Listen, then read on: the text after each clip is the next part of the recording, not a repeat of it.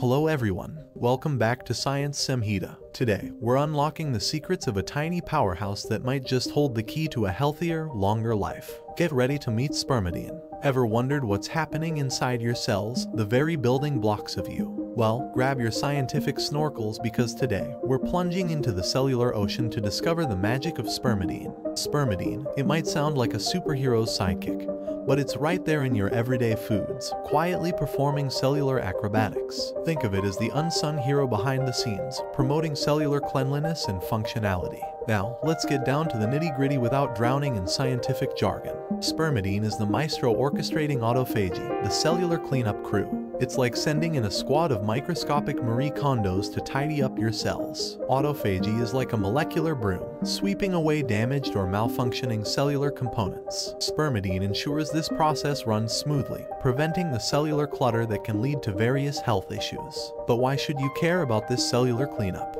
Well, buckle up, because spermidine isn't just a janitor, it's a wellness wizard. From potential anti-aging effects to heart health perks, the benefits are like winning the cellular jackpot. Now, the million dollar question, where do you find this cellular superhero? The answer is in your kitchen. We're talking broccoli, soybeans, and even your morning coffee. Yep, your cup of joe might be a sip of cellular rejuvenation. Worried you'll need a PhD in spermidine cooking?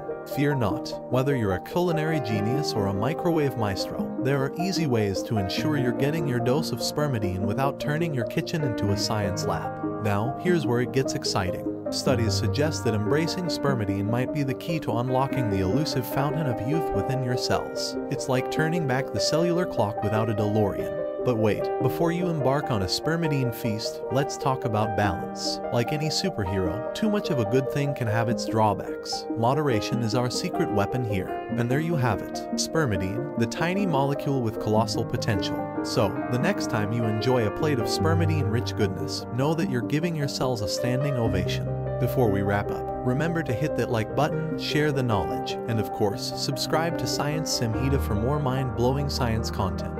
What topic should we explore next? Let us know in the comments below. Stay curious, stay healthy, and stay scientific.